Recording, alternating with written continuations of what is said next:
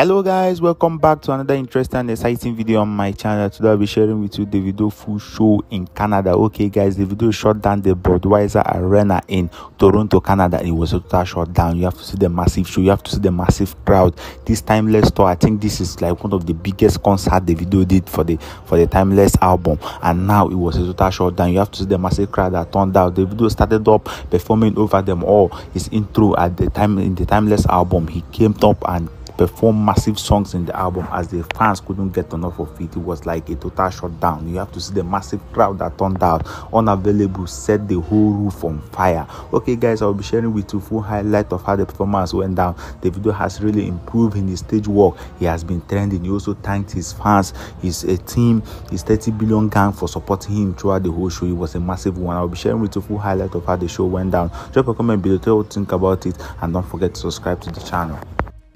I'm the where you. I'll watch the right